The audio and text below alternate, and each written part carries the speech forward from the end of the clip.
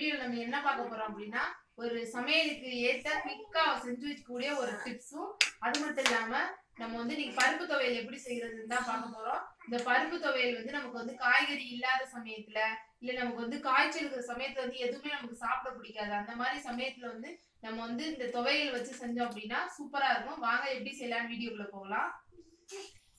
நான் ஒரு யூஸ்ஃபுல்லான குக்கிங் டிப்ஸ் சொல்கிறேன்னு சொன்னேன்ல அது வேறு ஒன்றும் இல்லை. இஞ்சி பூண்டு பேஸ்ட் எப்படி நம்ம வீட்டிலே வந்து ரெடி பண்ணி வந்து ரொம்ப நாள் கெட்டு போகாமல் வைக்கிறது அப்படிங்கிறது தான். இது வந்து எனக்கு ரொம்ப ஹெல்ப்ஃபுல்லாக இருக்குது அதை தான் நான் வந்து உங்ககிட்ட ஷேர் பண்ணணும்னு நினச்சேன். சில சமயம் கொஞ்சமாக இஞ்சி பூண்டு பேஸ்ட்டு அரைக்கிறதுக்கு சோம்பேறித்தனப்பட்டு நம்ம அந்த ரெசிபியை வந்து செய்ய மாட்டோம்.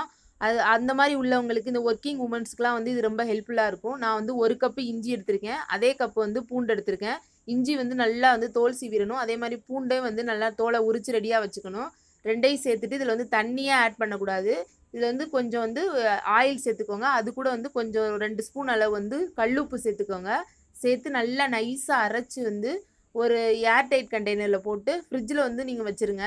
வச்சிட்டிங்க அப்படின்னா இது வந்து ஒரு ரெண்டு மாதம் வரைக்கும் கூட கிடையாது ஆனால் நான் வந்து ஒரு ஃபிஃப்டீன் டேஸ்க்கு ஏற்ற மாதிரி தான் செஞ்சு வைப்பேன். அப்பப்போ கொஞ்சம் ஃப்ரெஷ்ஷாக இருக்கணுமேங்கிறதுக்காக இந்த மாதிரி நம்ம இஞ்சி பூண்டு பேஸ்ட் வந்து நம்ம வீட்டிலே ரெடி பண்ணி வச்சிட்டோம் அப்படின்னா நம்ம வந்து ஒரு குருமா பண்ணுறதுக்கோ இல்லை ஒரு வெரைட்டி ரைஸ் பண்ணுறதுக்கோ எதுவாக இருந்தாலும் சரி டக்குன்னு நம்ம இதுலேருந்து எடுத்து போட்டு சேர்த்து செஞ்சிடலாம். நமக்கு ரொம்ப ஈஸியாக இருக்கும். அதே மட்டும் இல்லாமல் வேலைக்கு போகிறவங்களுக்குலாம் இது ரொம்ப ரொம்ப ஹெல்ப்ஃபுல்லாக இருக்கும்.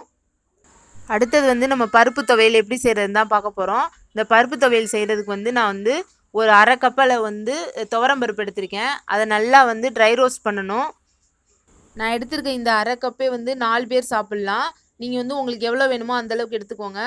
நல்லா வந்து ரொம்ப கருக விட்டுறக்கூடாது. மீடியம் ஃப்ளேமில் வச்சுட்டு நல்லா வறுத்து எடுத்துடணும். வறுத்த பருப்பை வந்து ஒரு பிளேட்டில் கொட்டி ஆற விட்டுறலாம்.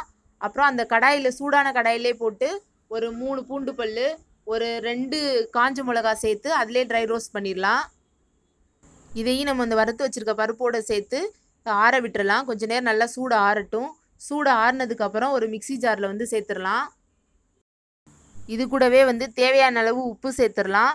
அது கூடவே இந்த பருப்பு நல்லா அரைக்கிறதுக்கு தேவையான தண்ணி விட்டுறலாம். ஒரு அரை டம்ளர் கிட்ட தண்ணி விட்டால் போதும். ரொம்ப தண்ணி விட்டுற வேணால் சட்டி மாதிரி ஆயிரும். எல்லாத்தையும் சேர்த்து நல்லா நைஸாக அரைச்சிடலாம். சில பேருக்கு வந்து இந்த பருப்பு துவையல் வந்து ரொம்ப நைஸாக இருந்தால் பிடிக்கும். சில பேருக்கு வந்து கொஞ்சம் ரவா பதத்தில் இருந்தால் பிடிக்கும். உங்கள் டேஸ்ட் எப்படியோ அந்த மாதிரி அரைச்சிக்கோங்க. நான் வந்து எப்போவுமே நைஸாக தான் அரைப்பேன். நம்மளோட சூப்பரான பருப்பு துவையல் வந்து ரெடி ஆயிடுச்சு. இந்த துவையல் வந்து நமக்கு காய்ச்சல்லாம் அடிக்கும்போது எந்த காய்கறி வச்சாலும் நமக்கு குழம்பு வச்சாலும் பிடிக்காது சாப்பிட. ஆனால் இந்த ஒரு பருப்பு துவையல் அரைச்சிட்டு அது கூட ஒரு ரசம் வச்சிங்க அப்படின்னாவே போதும். நமக்கு வந்து இந்த காய்ச்சல் சமயத்தில் நல்லா சாப்பிட பிடிக்கும்.